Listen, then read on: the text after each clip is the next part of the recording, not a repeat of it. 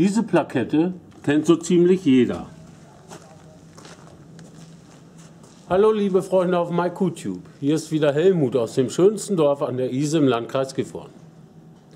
Diese ist eine TÜV-Plakette und so fast jedes motorisierte Fahrzeug wie Autos und Schlepper müssen eine, solch eine Plakette vorzeigen und müssen sich dem TÜV stellen und der TÜV-Untersuchung stellen, um am Straßenverkehr teilnehmen zu dürfen.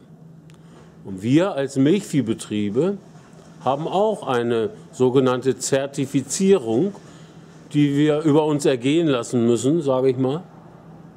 Und zwar nennt sich das QM Milch, Qualitätsmanagement Milch. Bei uns in Niedersachsen zum Beispiel fordert jede Molkerei von jedem Lieferanten, dass er diese Qualifizierung und Zertifizierung nachweist. Heute steht das bei uns an. Unsere Auditorin Ina aus dem Wendland reist heute an und wird uns hier untersuchen. Und wie das abläuft, das wollen wir euch heute mal zeigen. Hallo Ina, sei gegrüßt hier bei uns. Du hast ja schon eine lange Anreise heute hinter dir. Ich schätze mal 80 Kilometer. Ja, nicht ganz knapp. Nicht ganz, naja. Aber so, hm, ja. Ähm, heute geht es also um QM Milch. Ähm, sag mal, welche äh, wessen Initiative ist das und welche Absicht steckt da eigentlich dahinter? Ja, also Milch, QM Milch ist ein Kontrollsystem der niedersächsischen Molkereien.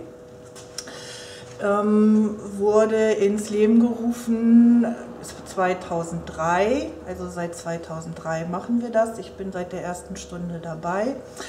Ähm, wurde initiiert, um den Verbrauchern eben ähm, die größtmögliche Sicherheit und Qualität für das Lebensmittel Milch zu gewährleisten. Mhm. Ich sehe, du hast ja schon wieder einen dicken Bogen hier mitgebracht. Ja. Äh, Wie viele Einzelfragen werden uns heute hier beschäftigen, sag mal? Oder, und wie sehen so im Allgemeinen die Themenbereiche aus? Also bei QM Milch arbeiten wir mit einer sogenannten Checkliste. Sieht ungefähr so aus, umfasst mehrere Seiten, umfasst 64 Kriterien und ist unterteilt in die Bereiche Kuhkomfort und Tiergesundheit, Milchgewinnung und Qualität, Fütterung und Futteranbau und einige Umweltaspekte werden auch berücksichtigt. Na gut, das hört sich schon ziemlich umfangreich an. 64 Bereiche, Kriterien. äh, also äh, Kriterien, genau. 64 Einzelfragen. Ja. Genau, ich denke, dann gehen, machen wir uns mal auf den Weg. Wir stehen ja hier schon in der Milchkammer und der erste Punkt, den du nanntest, ist die Milchgewinnung und Milchlagerung. Genau. Ja, Genau, wir gehen jetzt hier einmal, oder ich lasse meinen Blick einmal schweifen durch die Milchkammer. Die Milchkammer ist so definiert, das ist der Raum, wo das Lebensmittel Milch gelagert wird.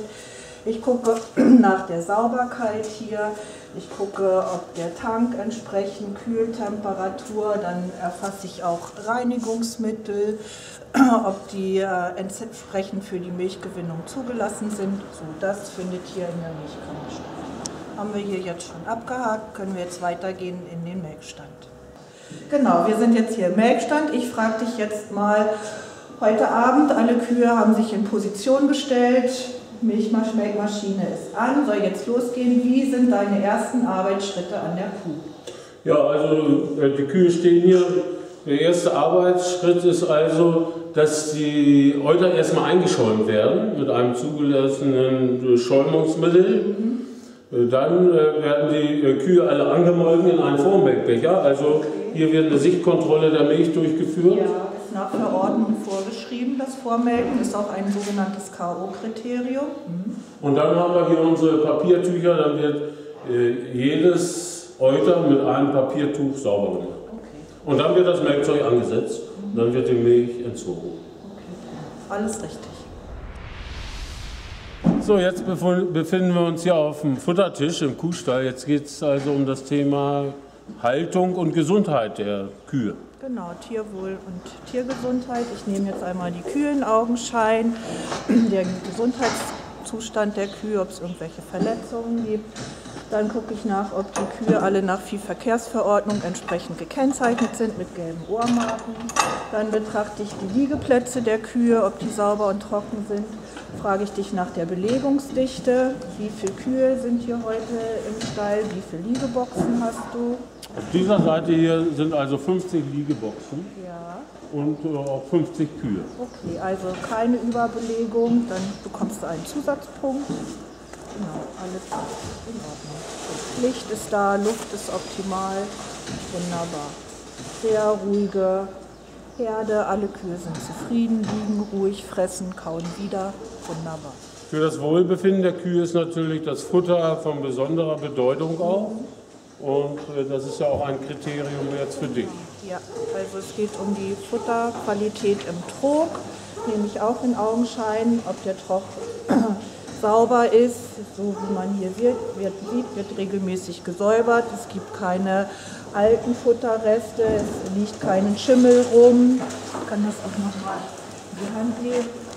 Guter Geruch, gut gemischt, so wie das sein soll. Nachdem wir nun ein paar der umfangreichen Kriterien hier vorgestellt haben, gehen wir jetzt also ins Büro und werden auch dort auszugsweise einmal zeigen, was wir alles an Unterlagen abheften müssen und was so alles zu dokumentieren ist und vorzuhalten ist. Also gucken wir da mal weiter. So, nachdem wir jetzt den Stall- und Hofrundgang beendet haben, widmen wir uns jetzt den verschiedenen Dokumenten und Unterlagen. So, da gucke ich jetzt als erstes mal das sogenannte Bestandsbuch an, was zum einen die Anwendungs- und Abgabebelege des Tierarztes beinhaltet. Also es ist eine lückenlose Aufzeichnung der Arzneimittelgaben erforderlich. Das ist auch ein sogenanntes KO-Kriterium, was in jedem Fall erfüllt sein muss. Sonst ist das Audit nicht bestanden. Also einmal hier die Belege vom Tierarzt, wann er was abgegeben hat für welche Kuh und dann nochmal das sogenannte Bestandsbuch, Aufzeichnungen von Landwirtsseite, welche Kuh an welchem Datum welches Medikament von welchem Anwender bekommen hat. Da haben wir unser Managementprogramm, wo dann Birgit immer alles genau eingibt und das wird Genau. dann hier nochmal einzeln aufgeführt Genau. und die Stimmen also Genau, gleich ich ab. sollen auch genau Ja. übereinstimmen. Genau, ist auch erfolgt. Genau. Dann kommen wir jetzt weiter zur Futtermitteldokumentation. ihr müsst belegen, wann ihr welches Futtermittel in welcher Menge von wem zugekauft habt. Das könnt ihr anhand der Lieferscheine belegen. Da gucke ich mir das auch an.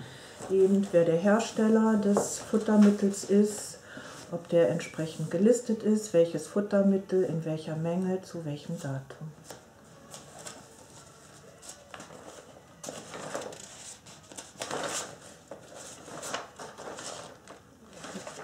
Alle Lieferungen wurden hier abgeheftet von den verschiedensten Lieferanten.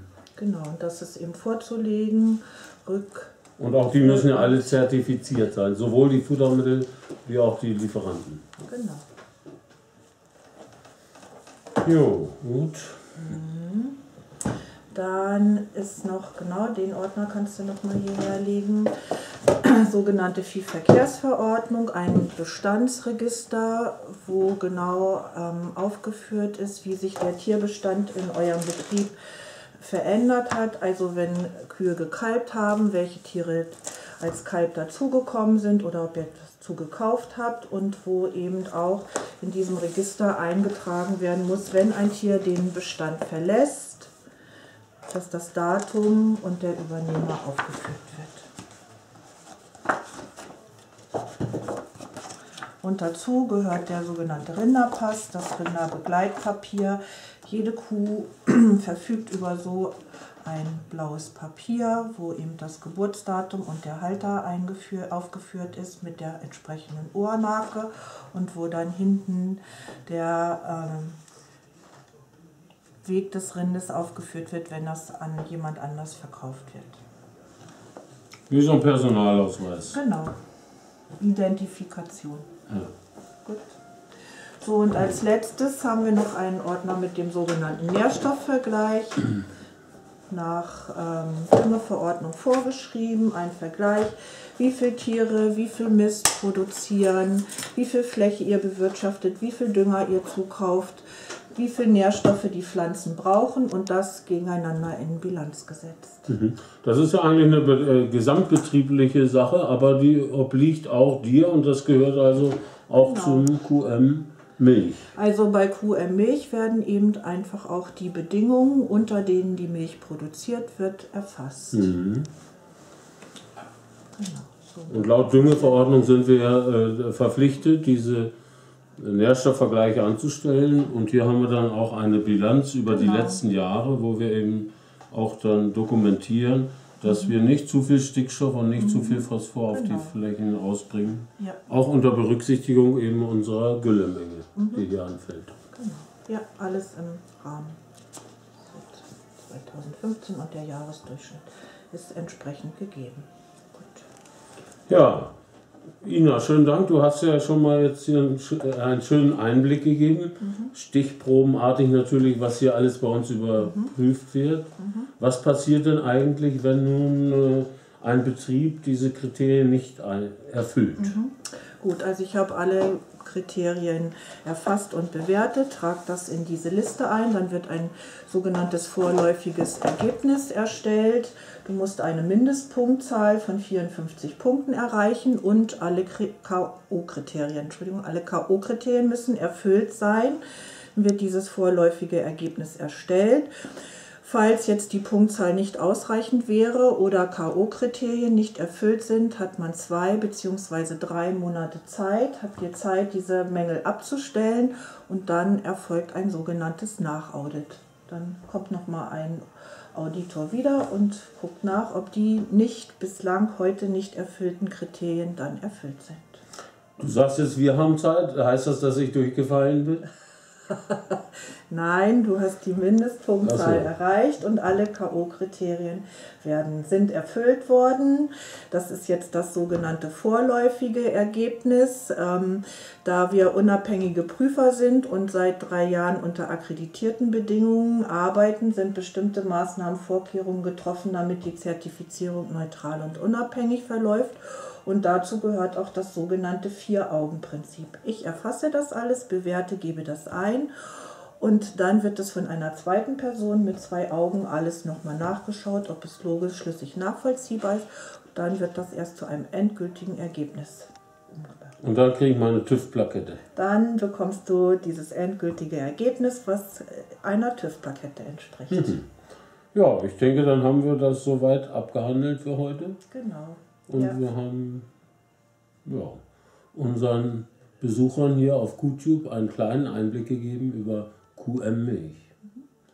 Ich sage schon mal schönen Dank, Ina. Ja. In drei Jahren kommst du wieder. Ich bedanke mich auch, wenn alles so bleibt, wenn ihr mhm. weiter Milch liefert, wenn das System so bleibt, kommt in drei Jahren ein Auditor, ein unabhängiger Auditor wieder zu euch. Okay, also tschüss.